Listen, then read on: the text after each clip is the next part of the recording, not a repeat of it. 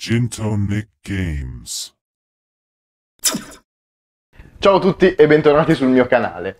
Dopo settimane e settimane all'insegna dei giochi brutti mi sembrava doveroso tornare a parlare anche di quelli belli e che io vi consiglio. Per questa settimana mi è partito il patriottismo, quello proprio tosto, motivo per cui vi voglio portare 5 giochi made in Italy. A infatti alle case di produzione ormai più grandi e affermate come Milestone o Kudos Simulazioni ne abbiamo tantissime più piccole che sono riuscite nonostante i limiti di budget, di tempo e di personale, a creare piccoli grandi giochi, che però sono stati, come dire, sono passati inosservati ai più, motivo per cui ve li voglio portare oggi. Come sempre per questo tipo di video, tutte le immagini che vedrete dopo, così come la recensione, è completamente spoiler free, così da non rovinarvi l'esperienza, perché appunto ve li sto consigliando. Dato che stavolta in più sono giochi italiani e che non sono andato a recuperare in Timbuktu e Congo, posso darvi i link Amazon per acquistarli se siete interessati, quindi in descrizione troverete tutti i link Amazon per tutto ciò che vi presento, anche per le altre console, non solo PlayStation. Il primo gioco di oggi è un gioco che ormai è diventato sempre più un cult tra collezionisti e videogiocatori in generale, ed è The Town of Light, la prima fatica del team fiorentino LKA. Il gioco si presenta come una sorta di walking simulator condite da tinte horror. L'horror che però troviamo non è dato da mostri deformi o jumpscare vari, ma da qualcosa di forse peggiore, dalla realtà. L'ambientazione scelta dagli sviluppatori è l'ex manicomio di Volterra, fondato nel 1897 e rimasto operativo fino al 1978 in occasione dell'entrata in vigore della legge Basaglia che ne prevedeva la chiusura. Fino ad allora questo luogo è stato casa di migliaia di internati, come la storia ci insegna, questi non erano luoghi felici, al contrario, erano la stregua di carceri in cui i pazienti venivano curati a suon di soprusi, violenze, sedativi ed elettroshock. Ed è esattamente questo che vuole raccontare il gioco, per farlo utilizzare René, un ex paziente che si reca nuovamente nel manicomio, ora abbandonato, per ricordare e ricostruire gli anni della sua permanenza. Tra corridoi bui, muri scrostati, inquietanti sedie a rotelle e macchinari medici abbandonati, ci faremo largo tra i dolorosi ricordi della protagonista. L'orrore, oltre ovviamente alle ambientazioni inquietanti del gioco, proviene dalle memorie di René, dalle violenze e ingiustizie subite, e dal sapere che, nonostante questo sia un personaggio di fantasia, queste cose sono realmente accadute all'interno di quelle mura. The Town of Light, come anticipato in apertura dal punto di vista del mero gameplay, si presenta come un classico walking simulator. Piano dopo piano, stanza dopo stanza, ci avventuriamo all'interno della struttura, senza mai incontrare nessun reale pericolo o ostacolo. Solo qualche semplicissimo enigma ambientale. Tecnicamente il gioco è brutto, non c'è purtroppo molto da dire.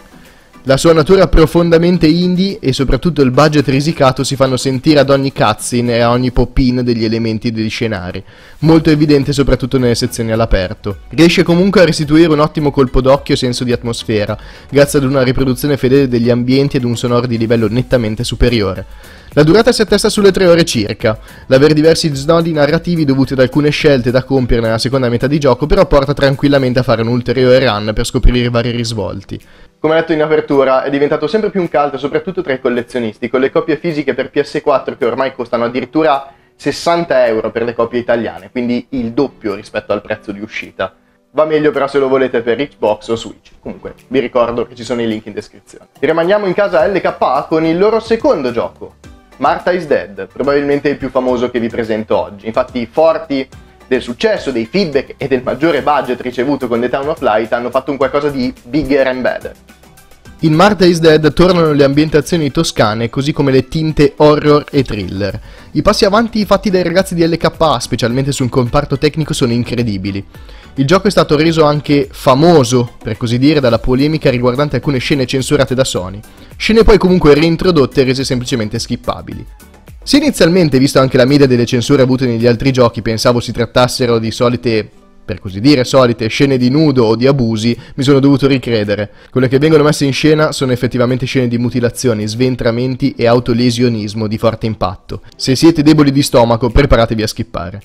Toscana, 1944. Interpretiamo Giulia, figlia di un generale tedesco, Eric, e di Irene, una donna italiana.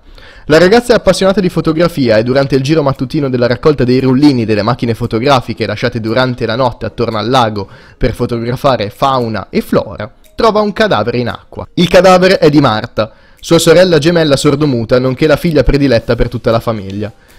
Questa però ha addosso i suoi vestiti e quindi i genitori, accorsi poco dopo, la scambiano per la sorella. Giulia decide quindi di prendere il posto di Marta come figlia preferita, con ovviamente l'accortezza di fingersi sorda. Nel contempo dobbiamo anche cercare di capire che cosa sia successo a nostra sorella e chi sia stato ad ucciderla, perché sì, Marta è stata uccisa.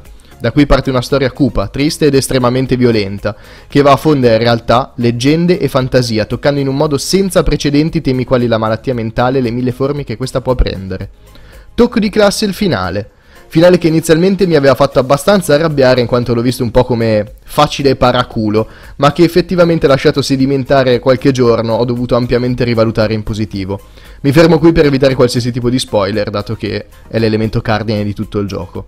Il titolo anche in questo caso è un walking sim a tinte horror. Siamo chiamati a girare per la mappa di gioco che comprende la casa di campagna della famiglia K, il bosco circostante e il lago vicino alla tenuta, a raccogliere indizi e compiere brevi missioni. A nostra disposizione abbiamo anche una macchina fotografica con diversi accessori con cui è possibile fare fotografie.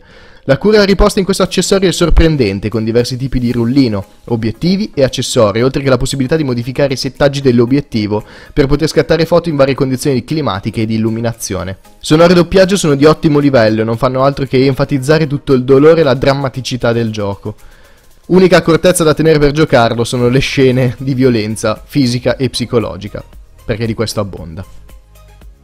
A differenza del loro primo titolo, Martha's Dead è tranquillamente reperibile praticamente ovunque e a un prezzo molto più basso, quindi ovunque lo vogliate recuperare, cioè senza problemi. Ma cambiamo registro e completamente anche zona. Andiamo a Bologna dai Trinity Team con il loro primo gioco che ha colpito nei feels un sacco di persone, infatti loro sono i responsabili di Bud Spencer e Terence Hill, Slap and Beans. Slap and Beans è una piccola grande lettera d'amore all'iconico duo e alle loro pellicole. Ogni pixel è una citazione ad una scena, una gag, un personaggio o un iconico dialogo dei film di Bud Spencer e Terence Hill. Per questo motivo è un prodotto difficile da valutare, da un lato abbiamo tutto quello che un fan potrebbe desiderare, dall'altro un gioco che se analizzato dal mero punto di vista tecnico risulta essere solamente buono. Il nostro duo preferito sta girando, come al solito, un film western. Una volta finite le riprese scoprono che la bella assistente con tutti i loro soldi viene rapita da una misteriosa banda che fa capo al... capo. Partono quindi a salvare la ragazza e i loro soldi, avventura che li porterà in location varie ed eventuali, tutte ispirate ai film, fino a salvare il mondo da un malefico piano. Come? A schiaffoni, che domande. La storia è carina e funzionale e riesce a strappare ben più di un sorriso per tutte le battute storiche e inaspettati easter egg. Don Matteo che passa non curante in bici nel mezzo di una scazzottata mi ha fatto per esempio morire.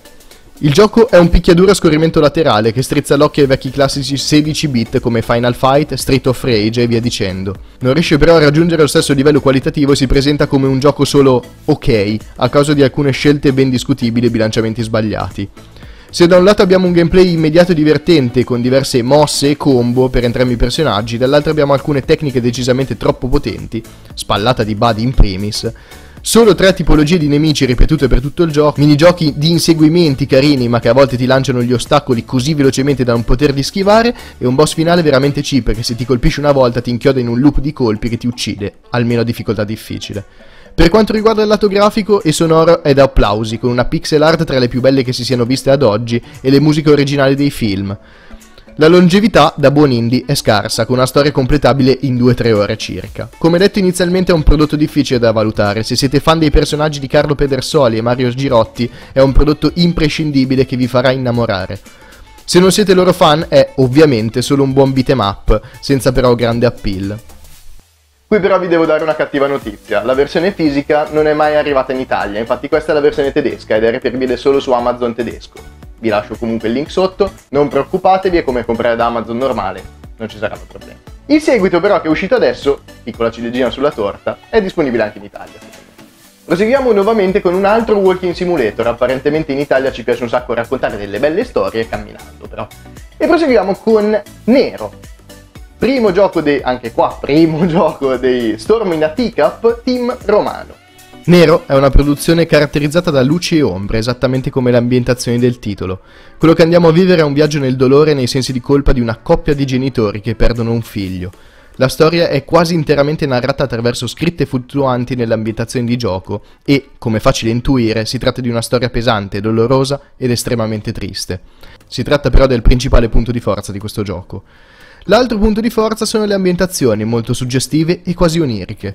C'è questo continuo contrasto di zone scure con fonti di luce estremamente appariscente che rende tutto visibilmente accattivante e memorabile. Passiamo da caverne illuminate da funghi blu luminescenti a foreste incantate, il cui cielo è pieno di meduse fluttuanti. Il colpo d'occhio è sicuramente sempre d'effetto. Il gameplay, d'altro canto, è quello di un classico walking simulator, come ne abbiamo già visti, inframmezzato da qualche semplice enigma. Le lunghe camminate verranno interrotti infatti da semplici puzzle da risolvere grazie alla nostra abilità di lanciare le sfere di luce. Il punto debole della produzione però è il comparto tecnico. Se il colpo d'occhio colpisce per la sua bellezza, se ci si sofferma ad osservare meglio le texture e i poligoni si trovano modelli in bassa definizione, spigolosi e poco curati. Spesso le ambientazioni sono troppo scure e i puzzle molto facili o molto poco intuitivi a seconda dei casi. Infine personalmente ho sperimentato un qualche crash di troppo del gioco, di cui uno mi ha corrotto il salvataggio, però fortunatamente la durata è estremamente bassa, circa un paio d'ore, così non è stato un grosso problema ricominciarlo e portarlo a questo punto a termine. Sì, ha qualche grosso problema, ma è comunque una storia che vale veramente la pena vivere. Qui problemino, nel senso che almeno se siete utenti PlayStation, infatti è stato rimosso da tutti gli store digitali, quindi l'unico modo per averlo su PlayStation, su PS4 è comprarlo fisico. La tiratura, essendo un titolo suedesco, non è esattamente delle più ampie e quindi non è necessariamente costoso, ma farete un po' fatica a trovarlo. Per le altre console andate tranquilli, cioè digitale costa 10 euro. Però anche qua, link in descrizione per qualsiasi cosa vi serve. E come per gli LKA vediamo il secondo gioco degli Stormina Teacup del nostro team romano, che è Close to the Sun. Close to the Sun, esattamente come Marta is Dead degli LKA, mostra i passi da gigante fatti dal team romano. Nel gioco interpretiamo Rose Archer, una giornalista che si reca sulla Helios dopo aver ricevuto una strana lettera dalla sorella Ada, imbarcatasi mesi prima. La Helios è una gigantesca nave creata niente di meno che da Nikola Tesla per raccogliere tutte le più grandi menti del mondo, affinché queste potessero portare avanti i loro studi e le loro creazioni senza limiti e restrizioni. Una volta arrivata sul posto però trova una nave fantasma piena di cadaveri, persone impazzite e segreti che è meglio non svelare. Vi ricorda qualcosa? Giusto, perché è esattamente lo stesso incipit di Bioshock con la sua ormai famosissima e amatissima Rapture. Le similitudini però non si fermano qui. Lo stile è art deco esattamente come quello dato dalla città sommersa dei ragazzi di Rational Games.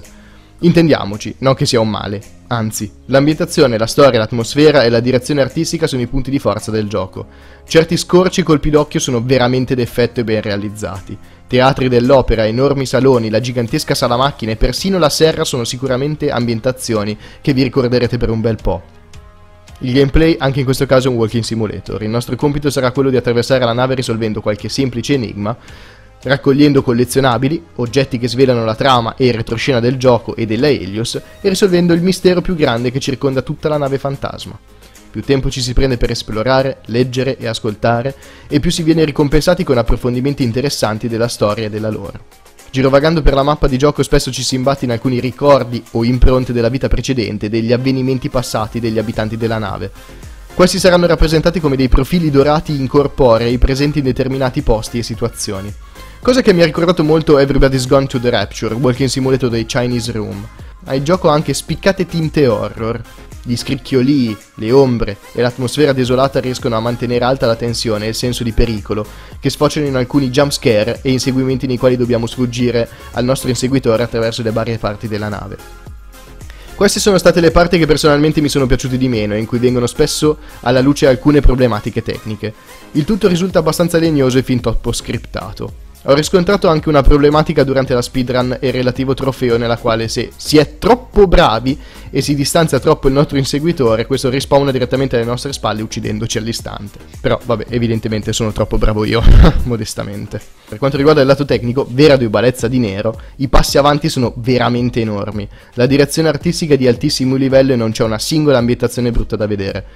La durata è piuttosto scarsa, ma in linea con il genere, con una storia completabile in 3-4 ore a seconda di quanto tempo si perde ad esplorare la Helios e a leggere vari file di approfondimento.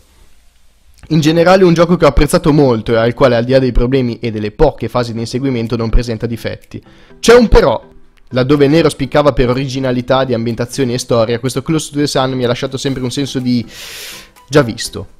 Non che questo vada necessariamente ad inficiarne la godibilità in alcun modo, ma le ispirazioni sono spesso chiare, molto chiare. Ovviamente, essendo un gioco italiano, lo vuoi rilasciare in Italia?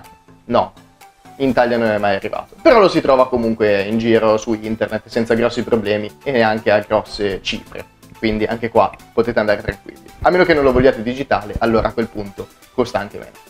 E questo conclude la nostra puntata patriottica. Fatemi sapere se li avevate già giocati o comunque li conoscevate e soprattutto fatemi sapere se ne avete giocato degli altri perché io sono sempre alla ricerca di titoli indie italiani, soprattutto di qualità.